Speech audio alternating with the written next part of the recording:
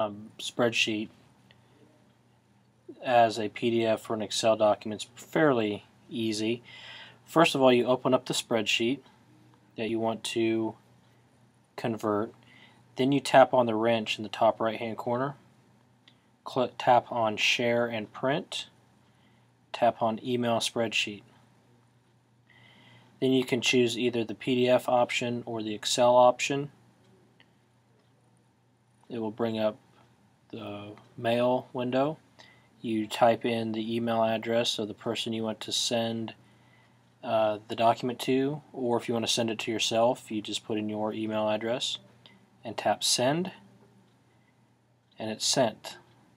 Again, you open up the document, tap on the wrench, tap share and print, tap email spreadsheet, and then you choose either PDF or the Excel document.